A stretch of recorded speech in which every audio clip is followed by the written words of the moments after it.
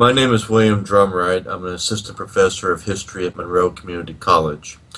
My academic specialty is the New Deal World War II era, 1933 to 1945. My academic dissertation dealt with the Tennessee Valley Authority and its work during the Second World War. My interest in COIL in partnering with someone is basically related to the class that I teach called History of Sport in the United States. The era that I'm looking at partnering with someone would basically involve the earlier post 45 era, basically 1945 to early 1970s. And my interest is in dealing with the growth of conflict between the United States and the Soviet Union as played out during the Olympic Games.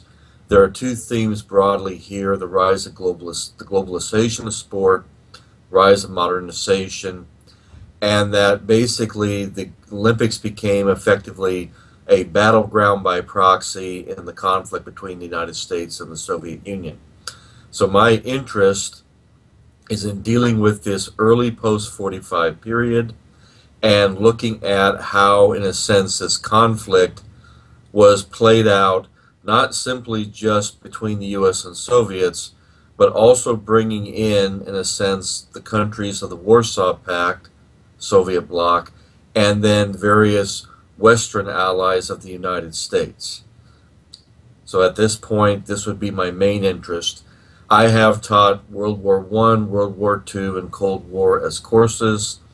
So if none of those, if what I first, my first preference is not available to somebody, then maybe there might be something else involved in those other areas.